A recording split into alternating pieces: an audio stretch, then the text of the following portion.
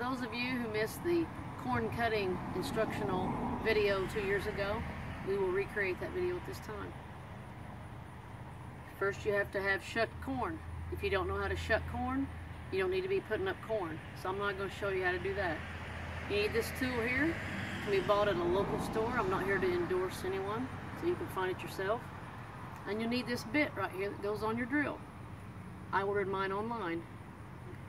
Again, I'm not going to endorse that company.